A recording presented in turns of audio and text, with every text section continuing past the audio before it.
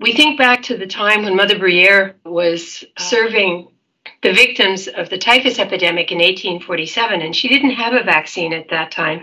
So she struggled through the, the epidemic. What would Elizabeth do under the circumstances? And that personally is, is a question that I often ask myself. I had no hesitation in accepting, in my context, for the, the good of the sisters that I live with and for the people who in future uh, I hope to be able to have contact with. And the day that the uh, the vaccination started, uh, it was it was a celebration in the house. It was good news, and we were very pleased but to. In this time of pandemic, we have to ask ourselves, what can I do to contribute? But the ethical dilemmas and the moral dilemmas that um, faith might impose on some of us, or we may feel that it imposes upon us, we really have to reflect on the common good at this time. And so faith tells us that we have to think of others. That's pretty basic.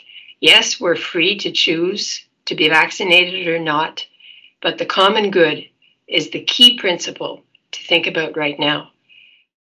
What would you want people to do if you were at risk? Would you like to be able to say, I made a difference in people's lives? I would encourage people to discern why would you be vaccinated and why would you not be vaccinated? And maybe the, the balance between the two. The why I should would outweigh why I shouldn't. And I encourage thinking of the common good. Every person that decides to be vaccinated can make a difference.